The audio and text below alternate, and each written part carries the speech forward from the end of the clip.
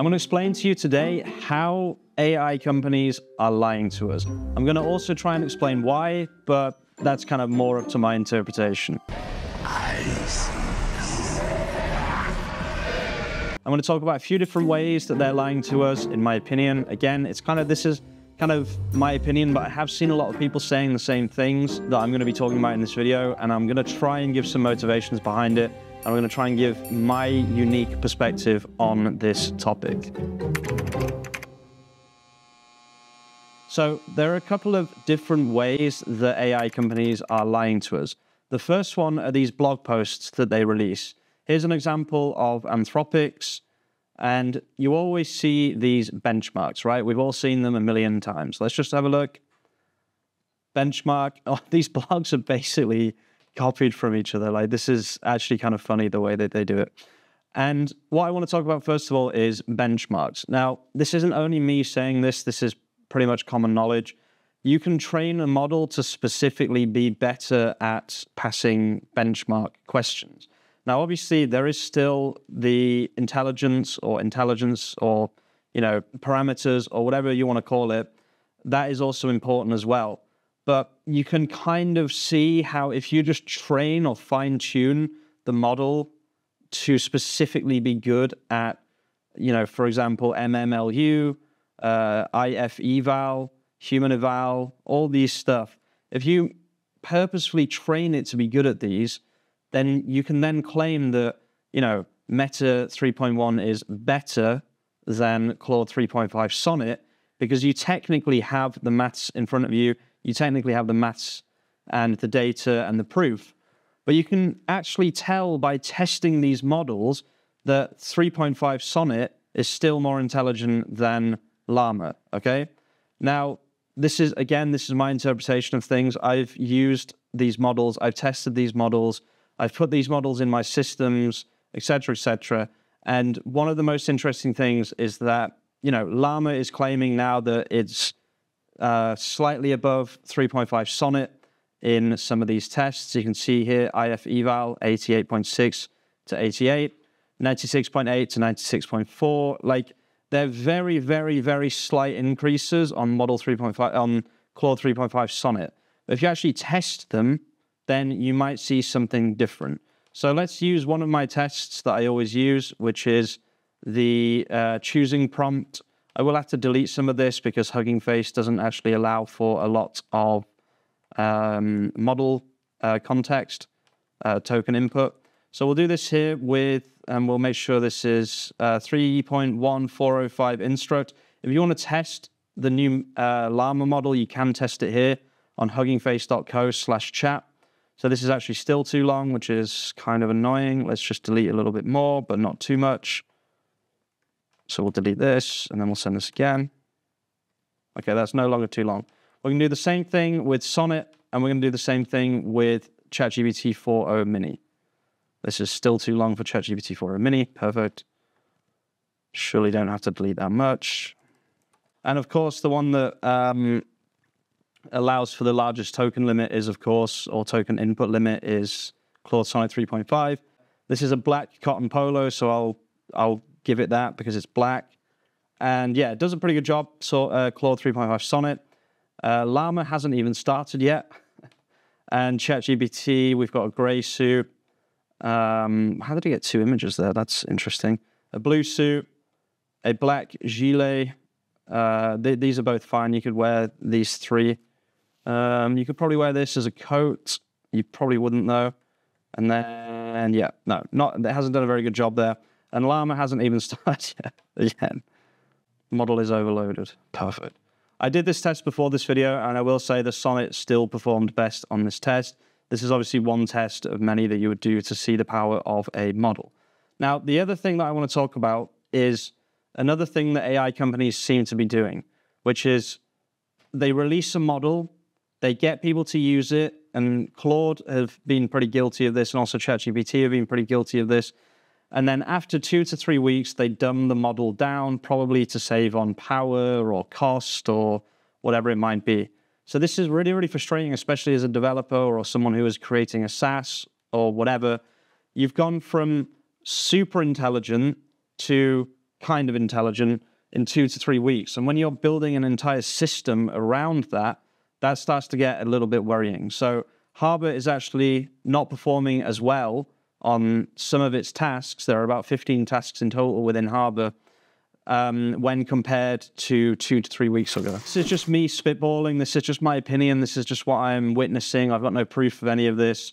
And I'm sure someone will tell me that this isn't correct or whatever. But in my experience, they dumb models down a few weeks after release, after the hype, after, you know, 100,000 people start using Claude instead of ChatGPT. It's happened with ChatGPT as well. It's not just uh, Anthropic that are doing this, it's OpenAI as well. I don't want to just pick on Claude, but you know, Claude is what we're doing a lot of things on at the moment.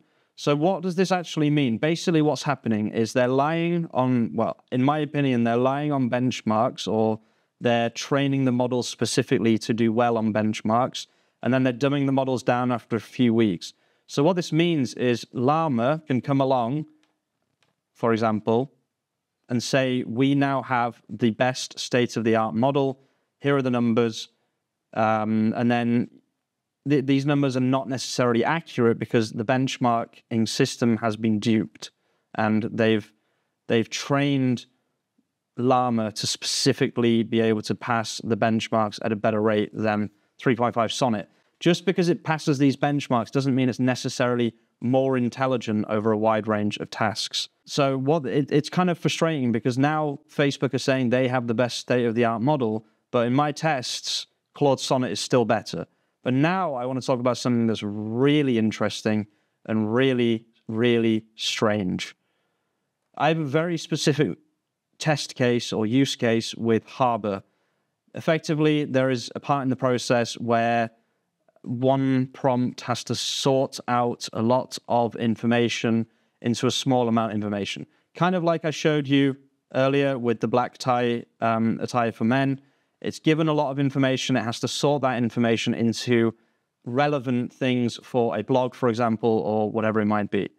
Now, after some testing, what I found was GPT 4o Mini, okay, GPT 4o Mini was outperforming 3.5 Sonnet on this particular task, which is completely crazy and also should not be the case. If we actually open this here, you can see this is compared to, um, these are model evaluation scores compared to uh, Gemini Flash, Claude Haiku, GPT 3.5 Turbo, and GPT 4o.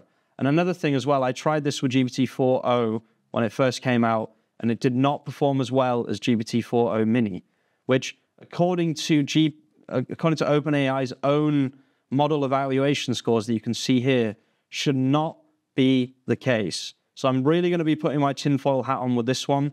I have a theory, guys. Feel free to laugh at me in the comments. I don't really care. I'm just giving you my experiences and my perspective. Now, the really interesting thing is a few weeks ago, I saw something about ChatGPT Strawberry which again could be complete crap.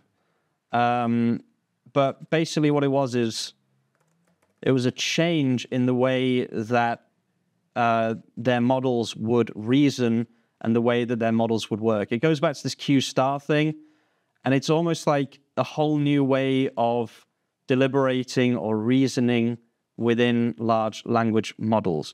So, what I think has happened is GPT 4o Mini is their first iteration of this new reasoning system.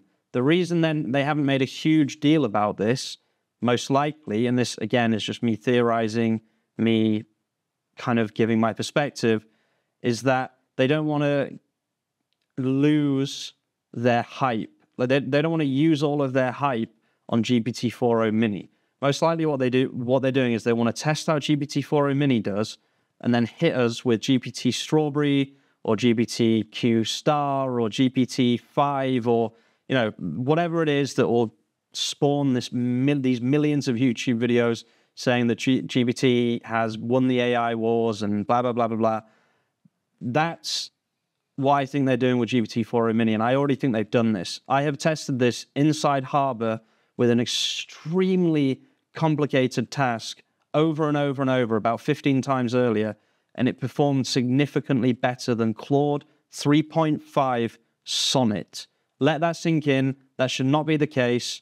Possibly, again, tin tinfoil hats on. Possibly because OpenAI themselves have sabotaged their own model evaluation scores with their own LLM because they don't want people to they don't want to use the, the, this buildup of hype that they've had for the last six months about when's GPT-5 coming, when's Q-Star coming, when's Strawberry coming.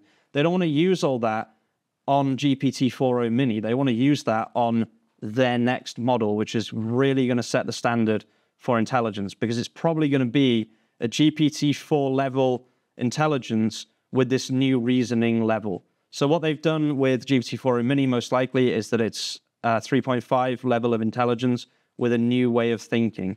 But this next one, whatever they come out with next, is going to be GPT 4 level thinking or intelligence, but with a new way of rationalizing, reasoning, and thinking.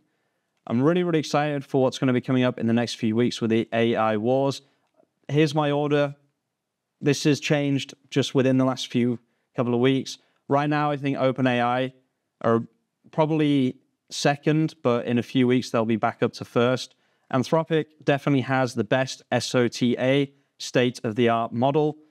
And then Llama is third. Let us know which model you currently think is best in the comments. We would be really interested to hear what other people think. This is obviously just my experience and my opinion. Please, I think, although there is a science behind this, a lot of the science is flawed and a lot of the benchmarks are easily circumvented. um, so yeah, just let us know because we also want to know what people think. Thank you so much for watching, guys. I'll see you very, very soon with some more content. If you're watching all the way to the end, you're an absolute legend, and peace out. Oh, I didn't see you there. Oh, you're not subscribed. Oh, well, maybe you should subscribe then. Or don't subscribe.